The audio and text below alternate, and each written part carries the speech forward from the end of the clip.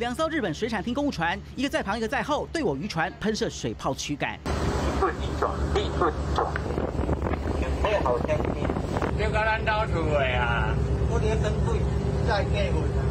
面对日方驱赶行为，还开口要赎金，我渔民忍不住痛批日本这回太超过。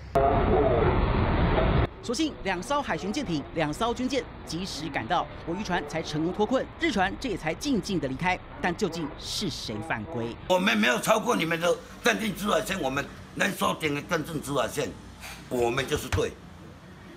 我希望我们台湾政府要硬起来。遭驱赶的就是这艘我国籍东半球二十八号渔船。四号早上八点，当时渔船载着十几名的钓客出海钓鱼，未料却在三貂角附近遭到日方船舰尾随驱离。根据渔业署所掌握的定位资料，在前一天，这艘船的确超过我方所暂定的执法线，遭到日方驱赶。然而三月四号，我渔船未在领海二十二海里范围内十点九海里处，并未超越执法线，却还遭到日舰驱赶，甚至水炮攻击。公里。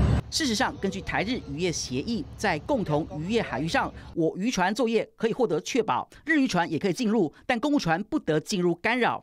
换句话说，当时日船驱离的位置早就已经入侵我国的执法线。那它是第二个航次，在我们这看来是没有超过暂定执法线。呃，这个接近哈，这个我们想要跟日本再继续谈的一个。